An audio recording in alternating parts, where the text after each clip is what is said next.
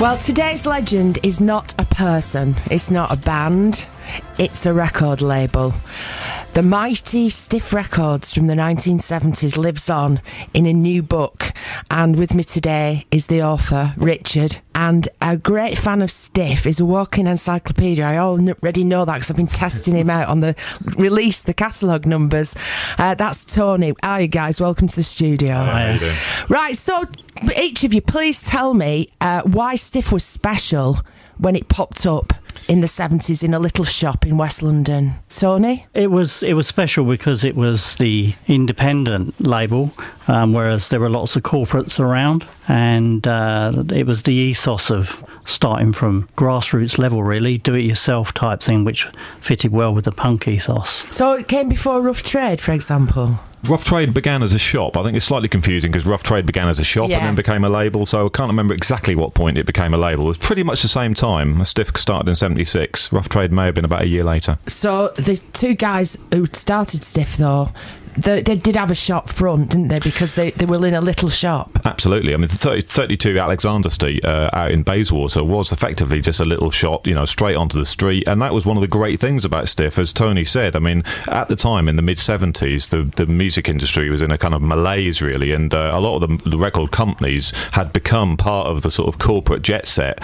Um, and, you know, they weren't music fans running the companies, they were, they were just high flying executives. And here were two guys who were basically just music fans uh, running a label out of a shop. So how did Jake Riviera and Dave Robinson meet each other? How did they know each other? Well, uh, Nick Lowe was a, a really good friend of uh, Jake Riviera, and um, obviously he would have known uh, Dave a little bit from the pub rock scene, so they would have crossed uh, paths. But I don't think they actually knew each other that well. Um, Dave Robinson started going out with a girl, and uh, he went round to her flat one day, and uh, she was sharing a flat with Jake Riviera. And the two of them kind of realised that they had the same frustrations with the record business at the time and decided to do something themselves. And it was quite cosy, wasn't it, Tony? Because the first release, as you just told me, uh, all the Stiff records had the catalogue numbers by. Yes. By 001 was. It was Nick Lowe, uh, so it goes. Yeah, no, uh, people just walked into that premises, didn't they? For example, Elvis Costello just strolled in, didn't he? Yeah, I mean, they just walked in off the street. I mean, Wreckless Eric, we, uh, who I interviewed for the book, I mean, he, he was, uh, I think he had a few pints for Dutch Courage, and uh, he had no confidence at all. He'd come down from, from Hull, he'd no confidence, didn't know anyone in London, uh, and he just, he was afraid almost to go in there. I think he had a few pints to get himself ready. He basically sort of fell in the door, drunk uh, and and sort of apologetically handed over this little uh, cassette that he'd made. I think he'd actually had an album on it and he just recorded over it his few songs, gave it to this big mountain of a bloke and kind of ran out basically. And later on, it transpired that the person he uh, he gave it to was Huey Lewis. it was Um, just happened to be hanging he just he just happened to be there because you know Clover were on the uh, Advancedale, which was the management arm of of uh, that Dave and Jake were running, and uh, and he was just they were just kicking their heels around in London, and, and that was the thing about Stiff. You know, people just bowled in the door, handed a tape over, and then you know a couple of days later, Jake would phone up, "Do you want to come and make a record?" That's all very chummy and rock and roll, but you have to actually create awareness of the products if you're to thrive as a business. And to do that, also, you need to get airplay. So, how did that small label compete with the big corporate giants? How did they get the stuff played? Uh, they were quite aggressive in the way that they um, they got it out there, but generally it was all through mail order. I mean, Sunny Ray, uh, somebody I spoke to was for the book was Sunny Ray, and she was a plugger for Stiff. Um, and I mean, yeah, she told me that she didn't have the kind of expense account available to her that the people would have done at the big labels. So she, rather than taking them out to really posh restaurants, she used to take them to little Italian cafes or something like that, or you know, and and she used to just try and you know just be chummy with them and be friendly and kind of try and make up for the fact she was buying them a cheap lunch. Because this is at a time, because I came along, you know, 12 years later to Radio 1, but that at that time, record labels sent limos for you. Uh, if they brought out a record, you might get a clock. I got a chair once for a Dire Straits release. So obviously, I'm not thinking Stiff could deal with that. But they did No. have some very controversial T-shirts, for example, didn't they? Yes, it did. Yeah, they did. I mean, I think that and that was one of those. You say you've got to get your message out, and there was no label that was better at getting its message out than Stiff. I mean, they realised that they didn't have the money, but they did have some imagination. And, Yes, they certainly did. And the so the other record labels at the time were completely baffled by Stiff. On the subject of the t-shirts, my own brother was chased through the streets of Leeds by the West Yorkshire Police for wearing an iconic stiff t-shirt.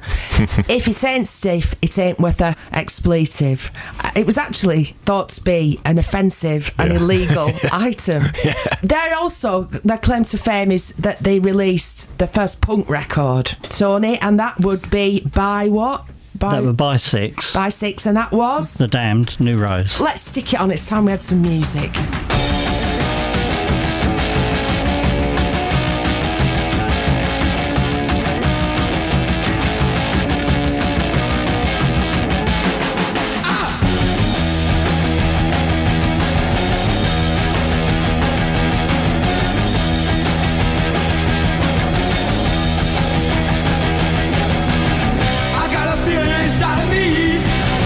It's kind of strange, like a stormy sea. I don't know why, I don't know why. I guess these things have gotta be. I've got a new rose, I've got a good. Guess I knew that I always would. I can't stop to mess around. I got a brand new rose in town. See the sun, see the sun, it shines. Don't get too close or it'll burn your eyes. Don't you run away that way. You can come back another day. I've got a new rose, I've got a good. Guess I knew that I always would. I can't stop to mess around. I got a brand new rose in town.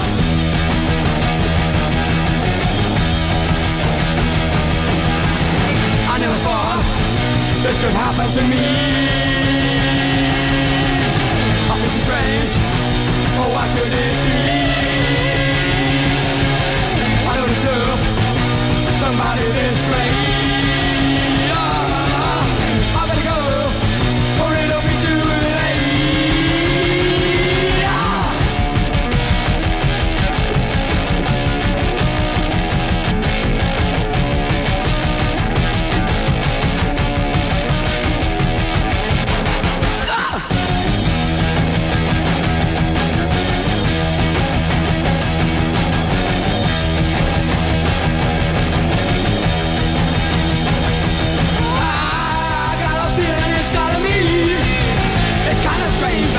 Like a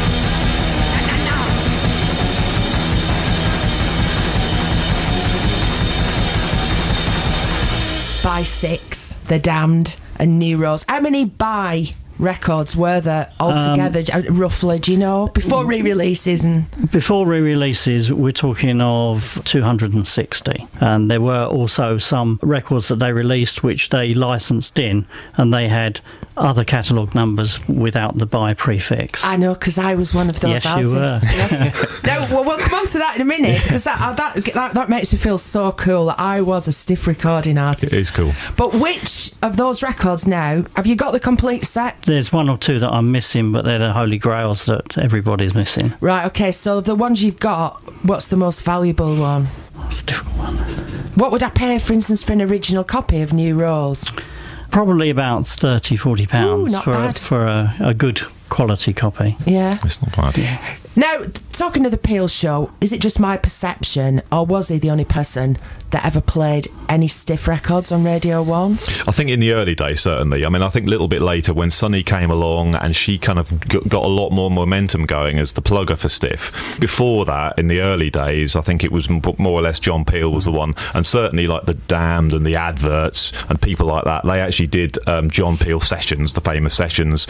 But yeah, in terms of the across Radio One, I mean, certainly John Peel was one of the only ones originally who, who took any notice, really. Now, I want to ask you about the time that I was a stiff recording artist because I think it's important to the story.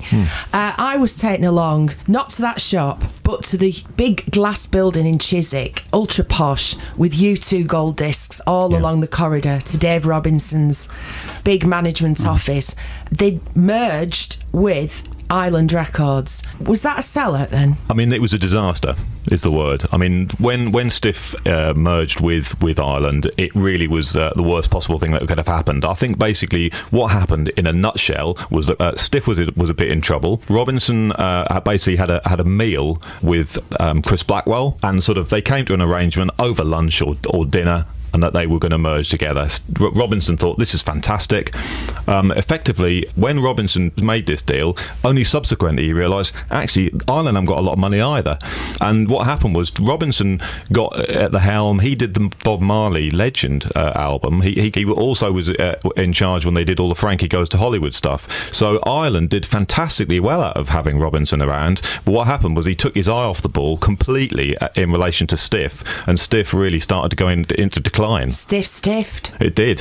I know. did you talk to then? You've mentioned a few names, but for the book, who's in the? If we get the book, Yeah. who's in it? Yeah, I mean, I did face to face interviews with a huge number of people uh, Shane MacGowan, Graham Parker, Lene Lovich, Jona Lewie, Ed Tudor Pole, Rat Scabies, goes on and on and on. Okay, and what's your favourite stiff release ever? Um, I think it probably would be uh, an Ian Dury record. I wrote a biography of Ian Dury before I wrote the book about Stiff, um, and it would probably be uh, What a Waste. Yeah, actually, you've reminded me. Ian Dury, Sex and Drugs and Rock and Roll, Radio 1 wouldn't play it. So Peel and Anne Nightingale flipped it over to the B side and played Razzle in My Pocket. Yeah. And what the management at Radio 1 didn't realise was that was even ruder and Yeah. lewder than, than the A side. So that was another one up on them. Uh, and Tony, what's yours? Mine's Wreckless Eric, Whole Wide World. Yeah, I love Wreckless Yeah. Eric. That first album of his. Yes. It's still great, isn't it? Yes. Can I ask you both then? You've embarked on this huge project. It's obviously Hmm. a labour of love as well. Why Why do you think, St- Tony, Stiff is still important? Why should we still be talking about it? I think because it had a this do-it-yourself ethos and it's coming from the grassroots. It's not a large corporate thing, and I think that influences people today. Yeah. For me, I think the legacy of Stiff is the fact that Stiff made the product important. I think what happened by the mid 70s was the actual product itself had become unimportant, particularly the single. I mean, album sales were huge, and that, and that was basically what was bankrolling this, this great lifestyle that the record company executives had at the time. But actually, uh, the single was a bit of a sort of neglected thing, and one of the things that Stiff did was it came in and they were kind of led a renaissance of, of the 45, um, and also coloured vinyl, picture sleeves. These things weren't uh, that they weren't a sort of given in 1975, 74. Uh, you know, often if you bought a single, it just came in a plain bag, maybe with the record company logo on it. How boring is that? And Stiff saw a youth market. They realised that there was kids out there who had pocket money who could actually afford to buy a single for 49p or something and go out and make that product something that they would actually want to go into school and so look at this my mates I've got this record it's red or whatever and stiff you know really sort of and I think what, what we see today with you know when you see a CD comes out and you've got bonus tracks and you've got different versions and so on really uh, th- this all goes back to Stiff's ethos of, of finding out different ways to sell the same thing four Yeah. times Uh, which is what you've done with the book, because at the time, people, as well as wearing the T-shirt, they also wore badges, Anoraki types, mainly lads saying "Keep vinyl black." Um, you, that Stiff ignored that. You've ignored it. You've brought the book out in five different colours, same in sides, but five different coloured covers. Thank you for coming in. Now, just one final question: Do you think it could happen today? Do you think another Stiff could open a little shop? In West London and get lads walking in with guitars and There is an increase in uh, interest in vinyl, particularly. I'm I'm sure um, it could go around again, but uh, with the internet, it's a different different thing. I think. Yeah, I think that's the difference. I think if you know with the, with the internet now, I think you know um, this is the way that particularly youngsters that's their access to music, and I don't, I'm not sure the same kind of thing. It could happen in, probably via the internet, but the idea of a few people, a few bods in a shop, I don't think it could happen in the same way. it's a shame really because it's sociable isn't Yeah. it Yeah. and, Yeah. and you know meeting of minds and exchanging ideas well shall we go out then Tony on your favourite Stiff release. Why not? Okay, here it is. Thanks, guys, for coming in. Good luck with the book. Thank you. Be Thanks stiff, very much. The stiff story, and here is stiff recording artist. What's the catalogue number? Uh, by sixteen. By sixteen. To you and I, that's Wreckless Eric. Whole wide world.